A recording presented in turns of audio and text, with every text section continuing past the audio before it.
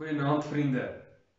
Ek groet julle vanaand in die naam van God die Vader, God die Seun, God die Heilige Gees. Hy wat die ware God is. Hy wat die sleutel het en wat oopsluit wat niemand kan toesluit nie en wat toesluit wat niemand kan oopsluit nie. Mag ons vandag ook sy teenwoordigheid hier in ons lewens ervaar en beleef. Kom ons sluit die oë. Hemelvader, aan U kom toe al die lof, al die eer en al die heerlikheid, want U is die ware God. U is die enigste God. U is die een wat ons aanbid. Here, ons wil U verheerlik vir wie U is. Ja Here, ons sê vir U dankie dat U ook teenwoordig is in ons lewens. Ons vra Here dat U ons sal vashou in hierdie tyd. Dankie Here vir al die beloftes wat ons in hierdie Pinkstertyd al gehoor het en wat ons weet dat dat U ook by ons is en ons veilig hou. Vir ons die krone wil gee. Ja Here, ons vra dat U ons sal seën en sal beskerm en sal vashou. Waar ons ook die woord vanaand oopmaak, vra ons Here breek dit vir ons oop. Mag ons U stem hoor. Geef ons wysheid en insig om te verstaan wat U vir ons wil sê. In Jesus se naam. Amen. Vriende, ons lees vandag uit uit Openbaring 3 van vers 7 af. Ons lees oor die gemeente in Philadelphia. Kom ons hoor wat wil Jesus ook vir hulle sê en daardeur ook vir ons. Openbaring 3 van vers 7. Skrywe aan die leraar van die gemeente in Philadelphia. So sê die heilige, die ware God, hy wat die sleutel van Dawid het, wat die deur oopsluit en niemand sluit dit weer toe nie en dit toesluit en niemand sluit dit weer oop nie. Ek weet alles wat julle doen. Kyk, ek het 'n deur voor julle oopgesluit en niemand kan dit weer toesluit nie. Ek weet dat julle min krag het en tog het julle aan my boodskap vasgehou en my nie verloon nie. Kyk, ek beskik dat van die lede van die sinagoge van die Satan die mense wat daarop aanspraak maak dat hulle Jode is en dit nie is nie, maar lieg. Kyk, ek sal maak dat hulle kom en voor julle kniel en erken dat ek julle liefhet. Omdat julle aan die boodskap van my volharding en lyding vasgehou het, sal ek julle ook vashou in die tyd van beproewing wat oor die hele wêreld gaan kom om die bewoners van die aarde op die proef te stel. Ek kom gou. Hou vas wat jy het sodat niemand jou kroon wegvat nie. Elkeen wat die oorwinning behaal, sal ek 'n pilaar in die tempel van my God maak en hy sal vir altyd daar bly. Ek sal op hom die naam van my God skrywe en die naam van die stad van my God, die nuwe Jerusalem wat van my God af uit die hemel uit afkom en ek sal ook my eie nuwe naam op hom skrywe. Elkeen wat kan hoor, moet luister na wat die Gees vir die gemeentes sê. Ons lees net tot daar. Philadelphia is 'n stad wat ons nie so goed ken. Daar's nie baie geskryf oor hom nie. Daar's nie baie navorsing oor hom nie. Daar's 'n paar goed wat ons wel van Philadelphia weet. Philadelphia was 'n Griekse stad wat gestig is deur deur 'n uh, koning met die naam Eumenes. En hy het hom hierdie stad vernoem na sy broer. Sy broer het 'n bynaam gekry. Sy bynaam was Philadelphos. Dit beteken die een wat sy broer liefgehad het sien sy broer het hom ondersteun. Sy broer was altyd aan sy kant. Sy broer het hom op sy hande gedra en en daarom het hy hierdie naam gekry. En so is hierdie stad dan ook na hom vernoem. Nou hierdie man wat ons ken as Philadelphus, hy het ook toe later sy broer uh, se opvolger geword en is toe koning, maar Philadelphus het self nie kinders gehad nie. En toe het daar 'n interessante ding gebeur. Hy wat 'n Griek is, het by sy sterwe die stad oorgegee aan die Romeine. Met ander woorde, dis 'n Griekse stad wat 'n Romeinse stad geword het sonder oorlog. Dit's interessant hoe hoe hierdie stad wat vernoem is na liefde so op so 'n vreedsame manier oorhandig is, né? Dit vertel ons ook baie van van die gemeente daarso. Hierdie stad het ook na 'n sekere tyd het hulle 'n spesifieke ander bynaam gekry. So die stad wat vernoem is na iemand se bynaam, het sy eie bynaam gekry en die bynaam is Poorte na Asië. Nou ons het so 'n bietjie gekyk na die verskillende uh stede wat spesifieke fokusareas gehad het en en dan sien ons raak dat dat soos Pergamum wat 'n politieke stad was of Thyatira wat 'n ekonomiese stad was, ehm um, het Philadelphia ook eintlik 'n tipe fokus gehad. Maar nie politiek of ekonomie nie. Philadelphia se fokus was om 'n sendingstad te wees, kan ons dit noem.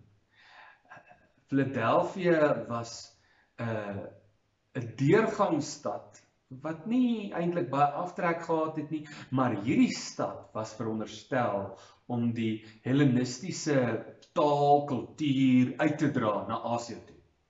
So as jy op die kaart gaan kyk in die boekies, dan sal jy ook sien dat Philadelphia lê hier aan die ooste kant van die sewe gemeentes, né? En en die gedagte was dat dat die Romeine dan nou op hierdie manier hulle kultuur en hulle godsdiens so kan uitdra. Met ander woorde, kultuur en godsdiens was in Philadelphia baie belangrik. En dit is dalk wat wat dinge daarso ook moeilik gemaak het. Nou as ons net vinnig kyk na die sewe gemeentes en hoe hulle aan mekaar haak, dan sien ons ook raak dat saam met Smyrna is Philadelphia en dan Smyrna die enigste twee briewe uh van die sewe waar daar nie teleurstelling uitgedruk word nie. Daar word nie met hulle geraas nie. Inteendeel, hulle word geprys vir vir hulle volharding in die swaar kry wat hulle beleef. Sien vriende, ons moet verstaan dat hierdie gemeente in Filadelfia ook onder baie druk was. En spesifiek het dit gegaan rondom hulle godsdiens. Ja, hulle het ook in 'n plek gebly waar die hoofsaaklike godsdiens wat daarso teenwoordig was, die keiserlike kultus was. Ek herinner julle nou net, keiserlike kultus het mos daaroor gegaan dat ehm um, die keiser aanbid word as 'n seun van God en daarom ook as God self. Daarom was hulle onder baie druk. Hulle het gesukkel om werk te kry weens die die uh, sosiale aanvaarding, né? Omdat hulle nie gebuig het voor voor ander gode nie, omdat hulle nie voor die keiser sou buig nie. Ja, het hulle nie in die regte kringe geloop as ons dit so kan noem nie. Dis baie interessant. Hulle word dan juis geprys vir hulle volharding in hulle geloof. Maar dan noem Jesus dit spesifiek. Dan sê hy dat hy dat hulle hom ook nie verloon het nie. Dit is dan 'n stukkie prys wat hulle dra. Ja, ten spyte van hulle uitdagings, ten spyte van hoe moeilik dit was, het hulle nie vir Jesus verloon nie. Sien ons sien raak dat hierdie gemeente 'n uh, 'n kleinerige gemeente was. Ja, wanneer ons die teks lees, dan sê hy hulle het min krag gehad. Hulle het hulle was maar 'n klein gemeentetjie met min invloed, met min bronne, maar tog het die Here 'n groot plan vir hulle gehad. Die Here wou hulle gebruik. sien, hulle het vasgehou aan Jesus se boodskap. Hulle het iets verstaan van Jesus se volharding. Dit is interessant. Dit wil vir ons voorkom asof volharding vir God nogal 'n belangrike ding is. Want dit kom herhaaldelik voor in hierdie in hierdie boodskappe en hierdie briewe aan die sewe gemeentes. Ons moet verstaan dat alhoewel ons raak sien dat die gemeente in Filadelfia dalk swaar tye gehad het. Dalk beproewing moes deurstaan. Kan ons hulle nie sien as 'n ou arme gemeentetjie nie. Ai sies tog, arme hulle nie. En dis ook glad nie wat wat Jesus kom doen en wat Johannes kom neerskryf nie. Inteendeel, daar word gemeld van die feit dat ten spyte van hulle swaar kry, gebruik hulle geleenthede om juis die evangelie te bevorder. Hulle gryp elke geleentheid aan in hierdie swaar kry tyd om die goeie nuus van Jesus uit te dra. Ja, ten spyte daarvan dat hulle klein gemeentetjie is, kom die Here en hy gee vir hulle wonderlike gawe. Hy sê vir hulle, ek stel 'n oop deur voor julle, 'n deur wat niemand kan toesluit. Nou ons moet hierdie verstaan in die agtergrond van Philadelphia. Onthou nou, ons het gesê Philadelphia se ander bynaam was poort na Asië, né? Nou poort is maar 'n tipe deur. Dit is 'n uh, 'n hek, 'n deurgangspunt. Dit is 'n 'n plek wat lei na 'n ander plek. Dan sê Jesus, ek het ook vir julle 'n poort oopgemaak. Vir julle 'n deur oopgemaak Ek vir julle geleenthede gegee in julle swaar kry, in julle moeilike tyd. Ek het 'n plan vir julle gemeente. Ja. Jesus gee vir hulle hierdie oop deur, hierdie geleentheid om juis die evangelie uit te dra. Jesus sê dan vir die gemeente, die deur is vir hulle oop. Nou is dit baie interessant dat Jesus eintlik dan vir hulle wil sê die evangelie moet sonder inperking gedeel word ten spyte daarvan dat die wêreld dit vir hulle moeilik maak. En ek wil hê ons moet vir 'n oomblik daaroor dink oor wat dit vir ons beteken. In hierdie tyd van grendeltyd word ons werk ook in 'n mate ingeperk. En dalk sit nou juis God wat vir ons wil kom sê, ek maak 'n ander deur vir julle om nie kerk te wees. 'n Evangelie sonder inperking. Evangelie kan nie beperk word nie. In hierdie swaar kry tye dan sê Jesus vir hulle maar weet jy omdat julle doen wat julle doen, gaan ek ook vreemde dinge laat gebeur. Ja.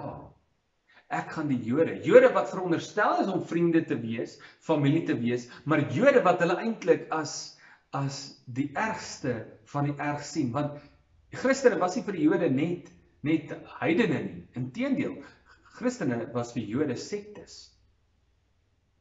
Dis so lank terug wat ons ook bekend is met sektes nie, né? Christen is gesien as sektes. En daarom het hulle die Jode glad nie die Christene aanvaar nie. Dan sê Jesus, maar ek gaan die Jode na julle toe terugstuur en hulle sal voor julle kniel. Wat beteken dit? Hulle sal by julle om verskoning kom vra. Hulle sal aan julle eer betoon en hulle sal erken dat ek wat God is, die enigste God is, die ware God is, die heilige God is.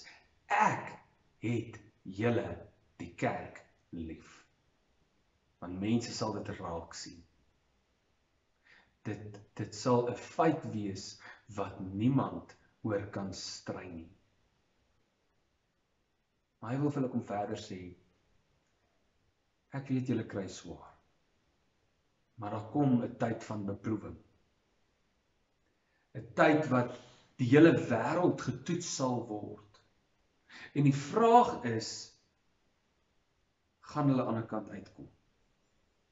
Maar die feit van die saak is net seker is kom aan die ander kant uit. net seker is maak dit deur hierdie beproewing, deur hierdie toets.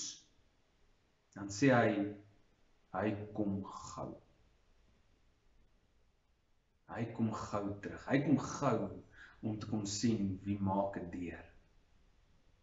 Al wat hulle moet doen is vashou aan die kroon wat hy reeds vir hulle gegee het. sien ons hoef niks te doen vir ons verlossing nie. Besef ons dit. God red ons deur sy eie genade. Al wat hy van ons vra is om aan hom vas te hou. Om ons fokus op hom te plaas en te sê, Here, Ek glo in U. Here, ek fokus op U. U is my Here. U is my verlosser. Fokus op God. En hy het ons die verlossing van Jesus Christus. En hy dra ons dan van daar van daar af.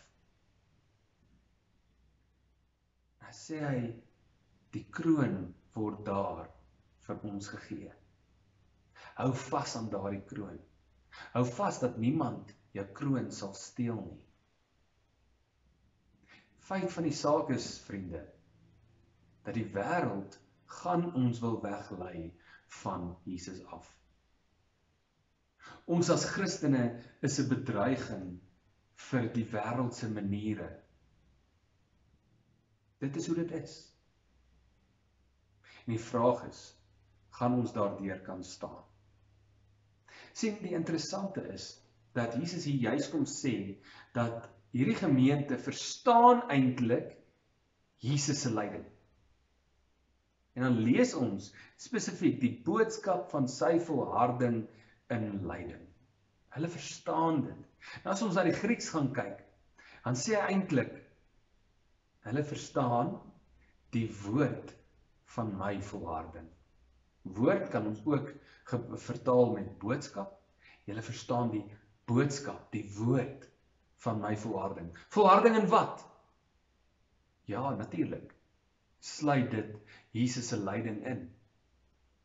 Jesus se lyding aan die kruis. Maar dit is soveel meer. Dit gaan ook oor Jesus se volharding in liefde. Dit gaan ook oor Jesus se volharding in genade. Ek dink baie keer aan aan ou Noag en die vloed. Nou aan die einde van die vloed dan dan kom sê Jesus Ek maak 'n belofte, ek sal nooit weer die wêreld uitwis, die mensdom uitwis met 'n vloek nie. Maak saak wat hulle doen nie. Dan kyk ons na die wêreld en dan sien ons 'n gebroke wêreld. 'n Wêreld wat sukkel. 'n Wêreld wat dwaal. 'n Wêreld wat onmenslik optree teenoor mense. Ja, Jesus moes volhard in sy liefde, in sy genade ook aan ons. Ons sien raak Jesus se volle boodskap van volharding. Hulle het hierdie boodskap verstaan. En dan kom sê Jesus vir hulle vir hulle, maar ek ek beloof 'n paar dinge vir julle.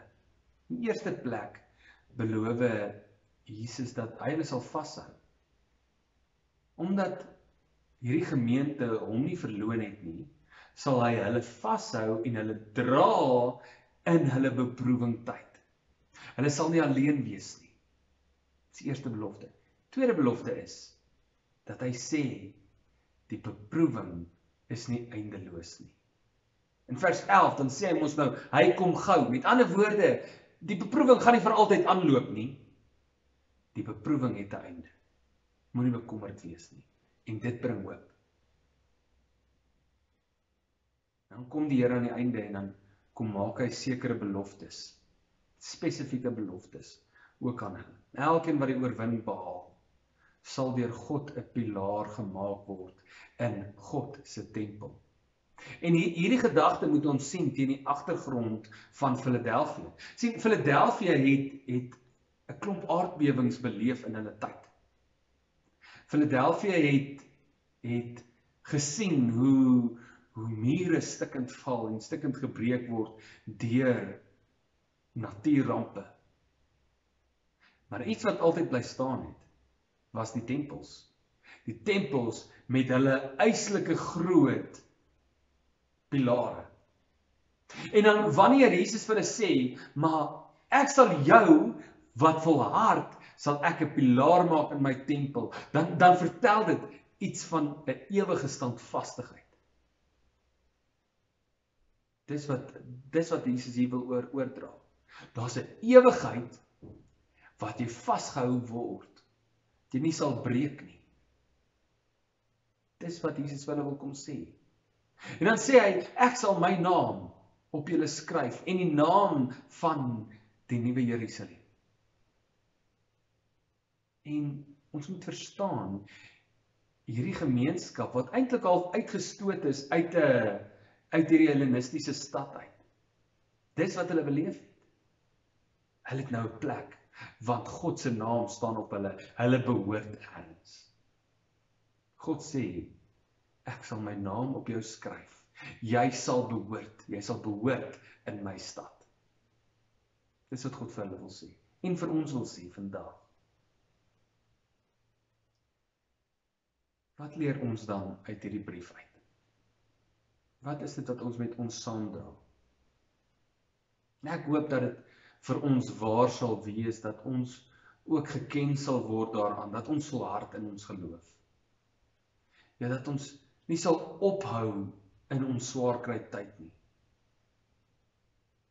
En hierdie is ook een van daai tekste wat so mooi van toepassing is op dit wat ons vandag beleef.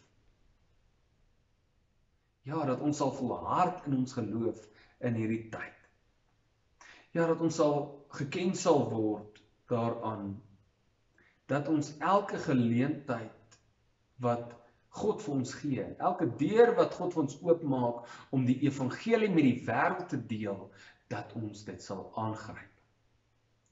Ja, en dat ons die evangelie sal uitdra.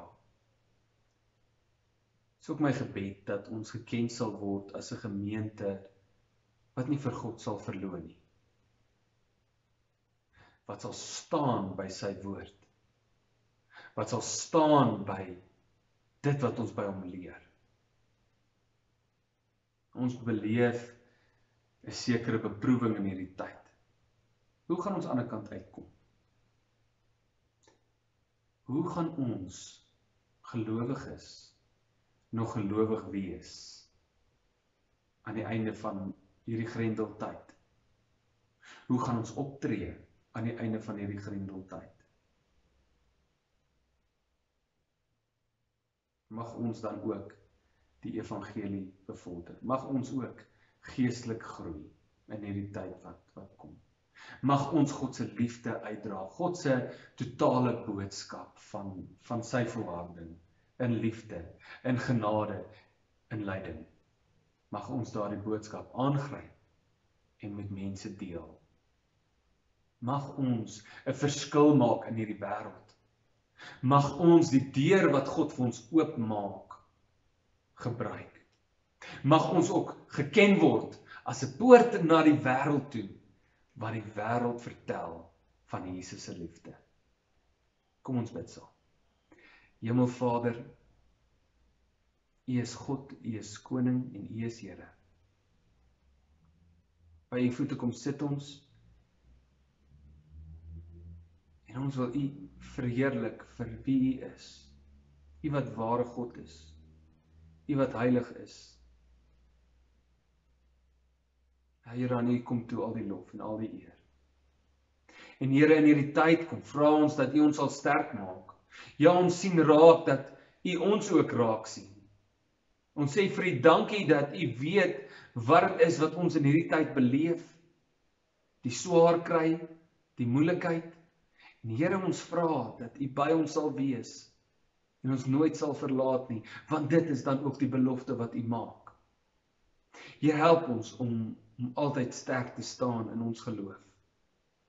Om altyd daar te wees tot verheerliking van U heilige naam. Ja Here ons prys U. Ons eer U. Ja Here mag ons geken word as u kinders. Seën elkeen wat in hierdie tyd swaar kry. Seën elkeen wat in hierdie tyd ontsettende baie druk beleef as gevolg van dit wat gekom het deur hierdie grendeltyd. Of dit nou finansiëel is of dit nou sosiaal is. Ja, Here, dalk is daar mense wat wat in hierdie tyd aan depressie begin ly. Here, ek vra beskerm ons geheel en al, fisies en ook geestelik. Ja Here, ons wil U loof en ons wil U prys in Jesus se naam. Amen. Vriende, ontvang dan ook die seën van die Here.